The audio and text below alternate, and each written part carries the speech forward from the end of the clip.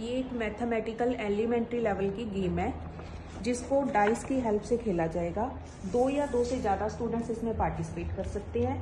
First student dice को throw करेगा। जैसे कोई नंबर आया। सपोज़ यहाँ पहले स्टूडेंट के लिए थ्री नंबर आया।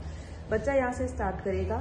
थ्री पे जाएगा। थ्री पे जाके वो चेक करेगा कि यहाँ कौन सा एल्जेब्रिक ऑपरेशन लग रहा है। सपोज़ यहाँ थ्री प्लस वन है। Three plus one means four उसे नंबर मिला। तो वो फोर पे चला जाएगा, फोर पे मूव हो जाएगा। ऐसे ही सेकेंड स्टूडेंट डाइस को थ्रो करेगा, उसको मिला वन वो यहाँ से स्टार्ट करेगा फ़र्स्ट पे आ जाएगा। फ़र्स्ट पे कोई ऑपरेशन नहीं है तो वो यहीं रुकेगा।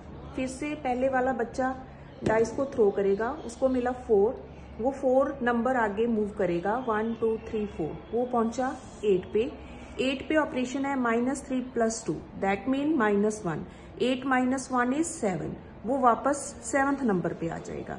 इस तरीके से दोनों बच्चे गेम खेलते जाएँगे और जो बच्चा एल्जेब्रिक ऑपरेशन लगा के सबसे पहले 50 नंबर पे पहुँच जाएगा, वो बच्चा इस गेम को जीत जाएगा। इस तरीके से बच्चा सारा एल्जेब्रिक ऑपरेशन बड़े फन वे से सीख लेगा।